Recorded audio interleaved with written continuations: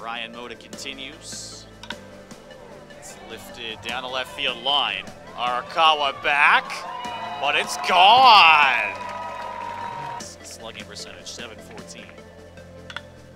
Hard hit to left again. And it's gone.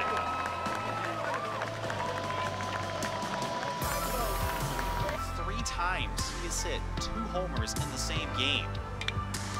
High fly ball to right. Back Ryan. He keeps going back, and that's gone. Driven to center field. Glover back. It's a long run for him out of his reach. Capilupo scores. Navigado scores. A two-run double for Moda. 5-3 CBU. Runner takes off, in run is on. It's gone! Ryan Moda, his third homer.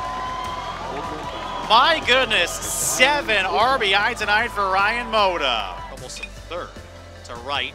Moda makes the catch. He's doing it all tonight, ladies and gentlemen. Capilupo touches the bag to first. A 6-3 double play. And for Chris Barisa, he's the first pitcher in the Division One era with a complete game.